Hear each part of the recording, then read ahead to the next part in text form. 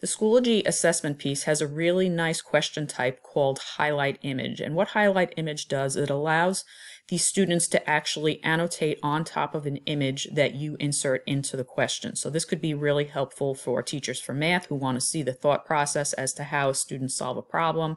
You could do use it in social studies where the students are annotating on top of maps or different images, science, if they're lab labeling different parts of a microscope or a skeleton, etc. So I'm going to show you how to create that question type. So the first thing I'm going to do is create a new assessment. Um, and again, a little tip is if you want to create an assessment and make sure it goes into a folder that you actually want, what you can do is hover your mouse below the, a folder if you want it inside a folder so you can create an assessment exactly in the specific folder where you want it to go. And then I'm going to click on it and I'm going to click Add Assessment. So there's a few different things that you need to fill out for this assessment. Anything with an asterisk is required. So you do have to title this assessment. I would suggest selecting a due date because this will make it appear in the student calendar and also show up in their list of things to do. If you don't put a due date, it will not show up there. You assign a point value. You do have to make sure that you enable submissions because by default it is on disable. So if you don't enable it, the students won't actually be able to take your assessment. Um, password we're not going to put in here. You do have to choose a category. Uh, we'll put this as quizzes. Um, you don't have to select a grading period, but it is an option. And you also have the numeric scale and the alphabetic scale if you want to. And then once you have all this required information, you're going to click. So I have all of this information now filled out. I'm going to click create which is going to bring me to some settings that I can change for this particular assessment. So we're not really going to go through this here, but you can scroll down. You do have an area over here where you can put instructions for the students on this entire assessment. And then if you go down below and you scroll down, you will see some other settings that are by default set up for you, and you can read through them and adjust any if you want. If you come down to the bottom where it says student settings, by default you will see students are not allowed to see their results after they um, submit their assessment, so you can change that if you want, and the attempts by default is one. So I'm not going to make any changes on this, so I don't need to hit save. So then what I'm going to do is come over to questions. So now I can start adding questions to my assessment. On the left-hand side, you're going to see all the different question types. So what I'm going to do is scroll down to the one that we're focusing on, which is called highlight image. So in highlight image, there's two bits of information you need to fill out. So where it says question setup, this is where you're actually going to put the, the question that you want the students to answer or directions as to what you want them to do on the image that you're going to upload. Um, a side note, for this particular question type, it can only be a JPEG or um, some kind of image format. You can't upload a PDF or a Word doc. So if you do have um, a PDF or a Word doc that you want the students to annotate on top of, there are ways to convert it to a JPEG, which I'll show you on the side.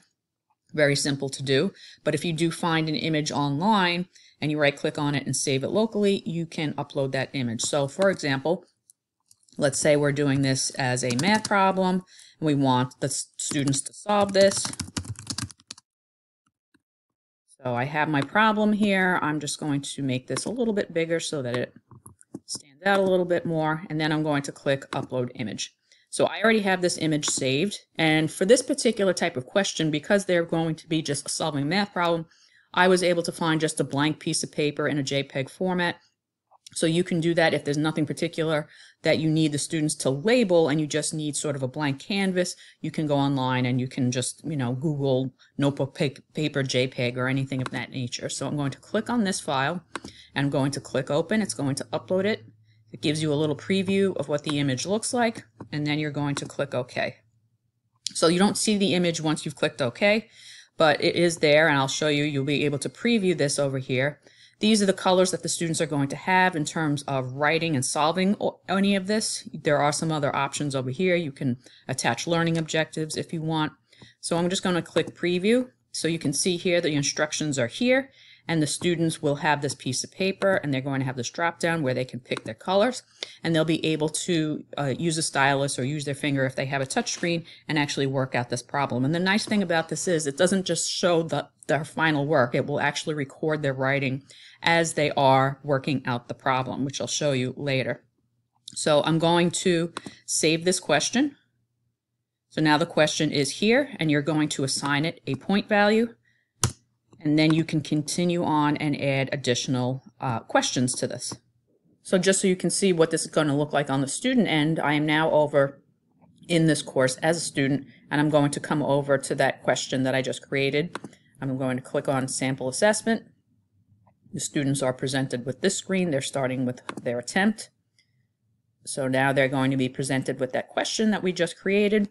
They can pick their color. They're going to work out their problem. And again, it's going to record all of this so that you'll be able to see their thought process. And we have x equals 5. Done. There's only one question to this assessment, otherwise they would be prompted to move on to their the next question. So once they're done with the entire assessment, they click review, they click finish, and now you're going to just click yes, and then we'll jump back over to the teacher end so you can see what a teacher can see once a student has submitted this type of question. So now I'm back over as the teacher of this course and I know a student has submitted this. I did get a notification in my notification bar and it's something that I have to grade. So I'm going to click on the name of the assessment that I want to look at the submissions for. And you can see here grading, needs grading. So the student has submitted it.